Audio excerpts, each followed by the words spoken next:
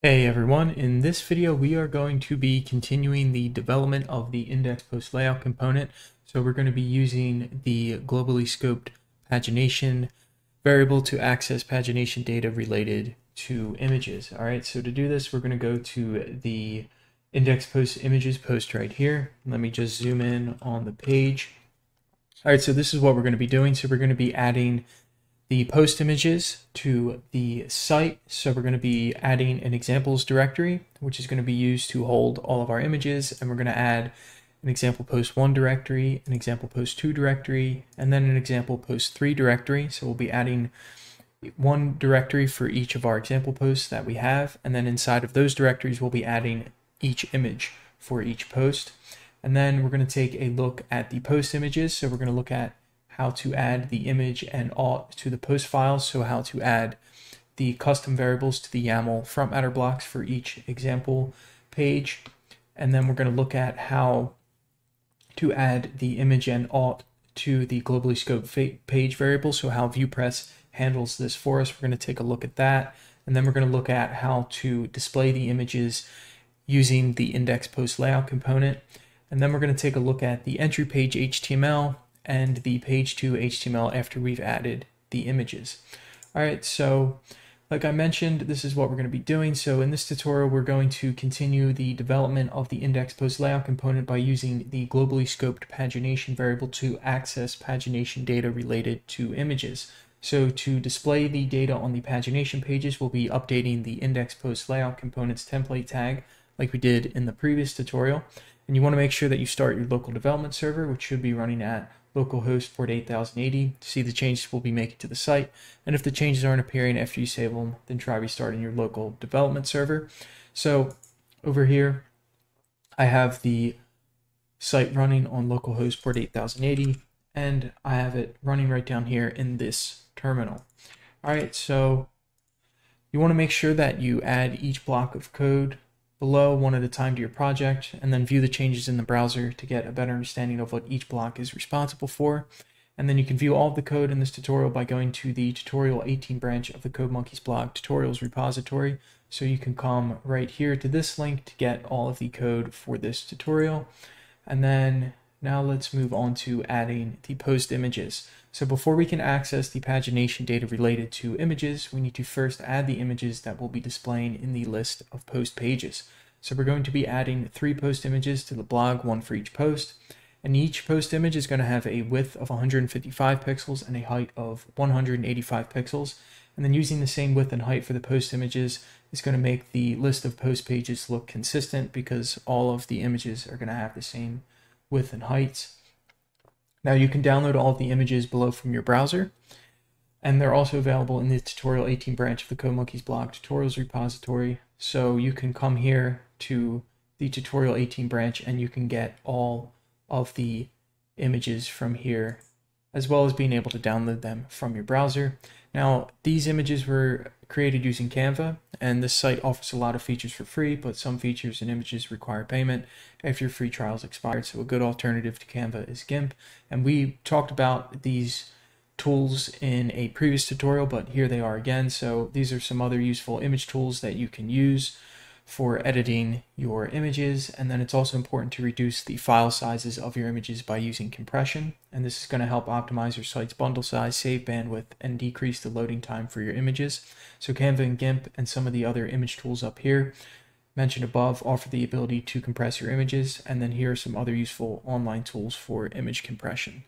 All right, so now let's get into adding an examples directory. So let's start by creating an examples directory inside of the images directory and the examples directory is going to be used to store the post images for each example post. All right, so let me come over here.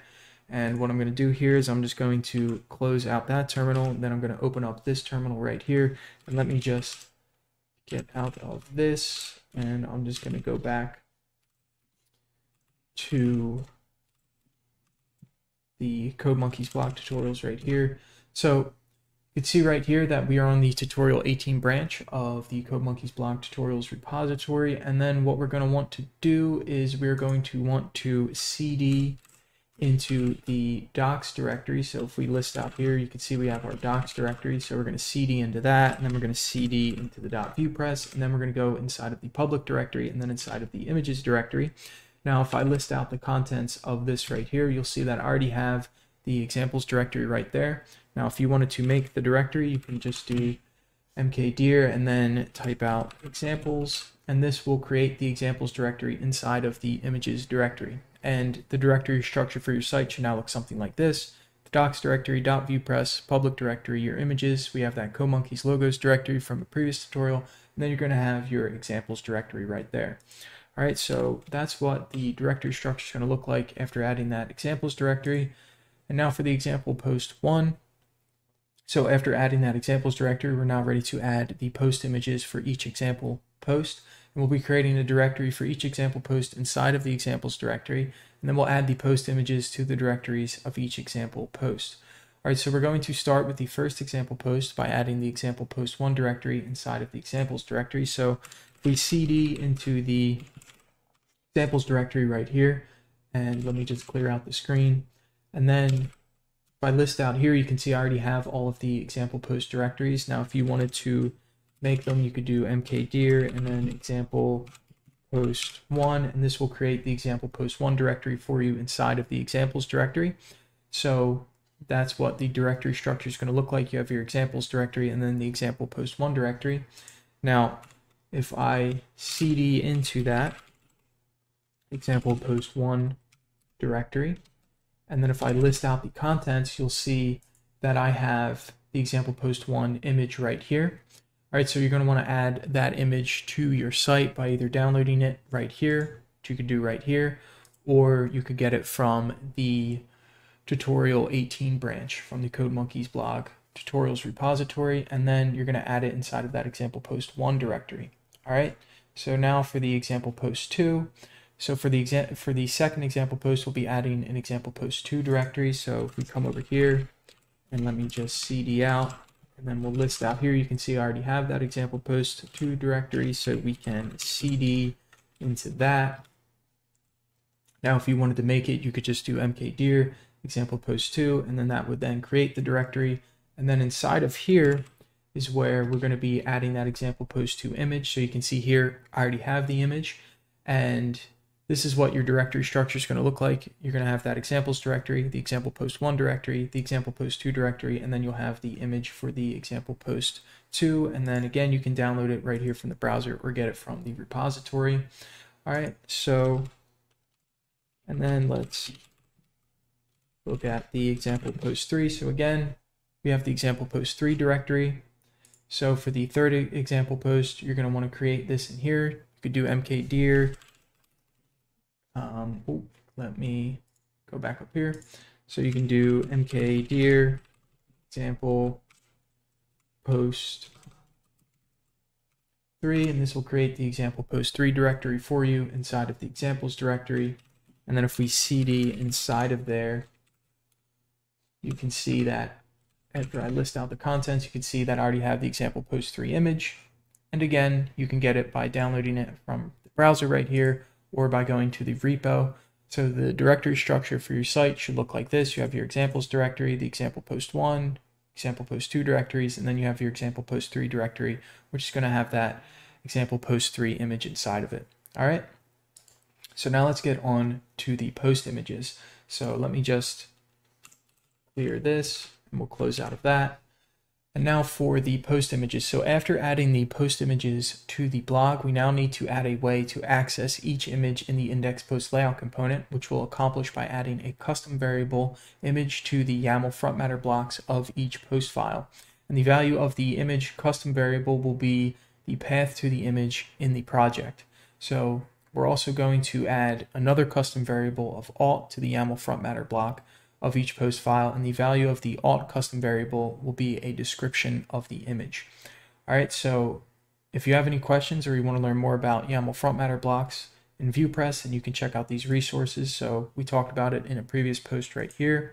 And then you also have the documentation that you can go to right here for front matter, and then the glossary right here, which describes the front matter. All right, so let's get into adding the image and alt to the post files. So this is what the post files are going to look like after we add the image and alt custom variables to them. So if we come over here and if I open up the example post one, I'm just going to copy in this right here and we'll just paste this over here. So what we have here is we have our image custom variable right there and then we have the value is going to be that examples directory that we just made and then the example post one directory and then inside of there is where we're going to have that example post one image and then we're going to have our alt custom variable and then we're going to give that a value of example post one post picture so this is going to be the value for that alt so this is going to be the description of our image the text description of our image and we'll save this and then if we open up the example post 2 again, I'm just going to come down here and I'm just going to copy in this. And then what we'll do is we will paste this in. So here again, we have our image custom variable. We're going inside of that examples directory, and then we're going to the example post 2 directory that we made, and then we're going to have the example post 2 image that we added, and then the alt custom variable is going to have a value of example post 2 post picture right there. All right, so we'll save this file. And then we'll go to the example post three. And what we're going to do here is we're going to copy this again. And there you go. So we have our image custom variable again, examples directory, example post three directory that we made, and then the example post three image. So that's going to be the path to it right there. And then we have our alt custom variable with example post three post picture as the value for that. All right. So that is what we're going to be adding to the YAML front matter block for each of our example post pages. All right, so now let's get into adding the image and alt to the globally scoped page variable. So as mentioned in the previous tutorial, when VuePress encounters a YAML front matter block in a markdown file, it's going to automatically add each variable as a property to the globally scoped page.frontmatter variable. So this is what VuePress does by default. So we have our markdown file right here, each of our example pages is in a markdown file, and then we have our YAML front matter block. So what VuePress is going to do is it's going to look at each custom variable inside of here, and it's going to add it to that globally scoped page.frontmatter variable for us. All right, and then since the page objects in the pagination.pages property are the same as the page, as the globally scoped page variables used by the post pages, we will now have a frontmatter.image property and a frontmatter.alt property that we can access in the index post layout component. All right, so this is how we're going to be able to access these values that we set for each one of our example posts. All right, so now let's get into displaying the images. So let me open up the index post layout component right here. So now that we can access the values of the image and alt custom variables in the pagination.pages property, we're ready to render the images on the pagination pages. All right, so you can see over here that we're again, we're just looping over the pagination.pages property right here. And then each time we loop through, we're going to get the pagination data for each post in our list of pagination pages. And now what we're going to do here is we're going to display the images using the image tag, which we'll place in a div tag underneath the parent div tag of the p tag. So right here, we have the p tag right here, and then this is the parent div tag of the p tag right here. So we're going to create a div tag right down here. And then what we're going to do is we are going to close that out. And then inside of this div tag is where we're going to add our image tag. All right. So this is where we're going to be adding our image tag in the index post layout component. And the image tag allows us to embed an image into the page, and we'll be using the source and alt attributes provided by the image tag. So the source attribute is required, and it contains the path to the image you want to display, which in our case are the post images we created earlier. All right, and the alt attribute is optional and consists of a text description of the image, which is useful for accessibility because screen readers will be able to read the description to the users, and this allows the users to gain an understanding of what the image is. And the description is also displayed on the page if the image is unable to be loaded. So you can come here to learn more about website accessibility if you are interested. Now, if you want to learn more about the image tag, then you can check out this resource right here, and this will go into more detail about the image tag if you're interested. All right, so now we can access the image and alt properties on each page object in our loop by using the post.frontmatter.image and post.frontmatter.alt respectively. So the index post.vue file is going to look like this after we add the code for it. So if you come down here, and I'm just going to copy in this code right here for our image tag. So let me just copy this and I will come over here. I'll paste this in. Let me format the file and then we'll save it. So what we're doing here is here we're binding the source and alt attributes by placing this colon right here before them, which is shorthand for vbind, and this allows us to bind the JavaScript expressions to the HTML attributes. So you can see mm-hmm. over here that we have our JavaScript expressions right here. And what we're doing here is with this colon right here is we're binding these JavaScript expressions to our HTML attributes. All right, so this is what lets us use these variables here for the values for the source and the alt. So as we're looping through, we can use the variables, so we can use the the specific values for each post, each example post in our list here. All right, so now you also notice that the that we have this slash images slash was added to the beginning of the path to the post images, which we need to add since they're all located in the images directory. So if you remember, we created that examples directory inside of the images directory, and we only gave the path to the images in the front matter. So if you come over here, you can see that the path that we set was this examples right here. So that's the path that it's going to be looking at. So what we need to do is we need to add the slash images slash to the beginning of the path. So then it's going to, so then VuePress can find the files.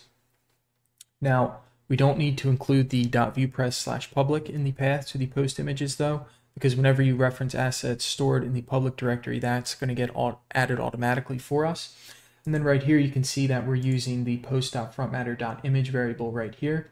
So we're accessing, so we have our post right in here, which we're looping over the pagination.pages property. Then we have that front matter object right there. And then we're going to have that image property, which will then have the rest of the path to the image in the site. And then right here, we have our alt attribute right here. And you can see that we have our post right here. So this individual post in our pagination.pages property. And then we have that front matter object. And then we have the alt attribute right there. And that's going to bring in that text description that we set for the custom variable in each example page in each one of those markdown files. This is going to be that value right there. And you also notice right here that we have an alternative value. So we also added an alternative value for the post image alt for the post image alt attribute in case the alt custom variable isn't present in the front matter of a post. So in case that we forgot to add the alt image or the, the alt custom variable in a particular post, then we're going to have this fallback right here. And this is done by using a logical OR operator. So that's this right here. And here we're using the post.frontmatter.alt or the post picture. So this means if the alt property evaluates to a falsy value, so here's a link to falsy value. So for example, if it was undefined, if we forgot to add it for some reason, then this will display the post picture text instead. So it's going to display this text instead. All right. So if you have any questions or you want to learn more about vbind or the logical OR operator, then you can check out these resources. So we have the vbind documentation right here. Then we have using vbind in Vue. So there's a blog post right here about that. And then we have this link for the logical OR operator in JavaScript. All right. So now if we take a look at, if we go to our localhost port 8080, and if we go to the all post right here, you can see that we have our example posts right here, our images right here. So let me just make this a little bit bigger. So you can see that we have our example one image right here, our example two image. And then if we go to the second page, you can see that we have our example three image right there. All right, so now let's get into the entry page HTML. So after updating the index post.vue file with the code above. If you navigate to the entry page like we just did, you should now see the images being displayed with some styling provided by the default theme. And the HTML for the body tag for the entry page is now going to look something like this. So inside of our body tag, if you went inside of there, then you could see that we'd have our div tag that we created below the parent div tag of that p tag right there. And then we have our image tag, which then has the source and the alt attribute for the example post one image. And then we have it again down here for the example post two image. So if you came over here and if you inspected the page, and if we went over here, go inside the body, the div tag with an ID of app, the global layout, theme default content, and then you can see we have our h1 up there, and then we have this div tag, and then we have this div tag right here, and then this is going to be that p tag. So right here underneath that div tag is our image. So we have our div tag that we added right there. And this is our image for the example post one. And then if you come down here, you can see a similar thing for our example post two. So we have our p tag, and then we have that div tag that wraps it. And then right here, we have that div tag that we created with our image for the example post two right there. All right, so that's what the HTML is going to look like for the entry page. Now, if you come over here to the page two, so if you navigate to the second page, you should now see the image being displayed like we saw with some styling, which is again provided by the default theme. So if we come back over here to the page two, and if you inspected the page and you can see right here. This is our page two HTML. We have that p tag with that div tag that wraps it right under there. We have that div tag, and then we have our image tag right there with the source and alt attributes that we set for the example post three image. So you inspected the page, you went to the body, the div tag with an ID of app, global layout, the theme default content, and then we have our h1 tag up there, and then we have our div tag for our example post three. And then we have our p tag right there, that div tag that wraps that. And then right underneath there, we have our div tag that we added, and then our image for the example post three. All right, so this is what the HTML is going to look like for the second page.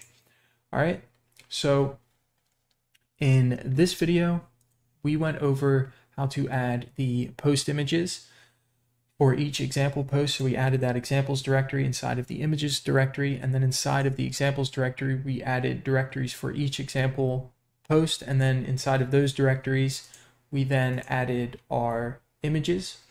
All right, and then again, you can get the images right here by downloading them, or you can get them from the repository. And then we also looked at the post images. So we looked at how to add the image and alt to the post file. So we looked at how to add the image and alt custom variables. We went over the values that we assigned to them. And then we went over how VuePress adds the image and alt custom variables in those YAML front matter blocks, how it adds it to the globally scoped page variable, which we can then access in our pagination.pages property. And then we went over how to display the images in the index post layout component. All right, and then we took a look at the entry page HTML and then the page two HTML. Okay, so in the next tutorial, we're going to be continuing the development of the index post layout component by beginning the process of adding the pagination buttons to the pagination pages. So if you come here and if you scroll down to the bottom, you can see these pagination buttons down here. So we're going to be going over how to add these pagination buttons in the next tutorial. All right, so we'll see you in the next video.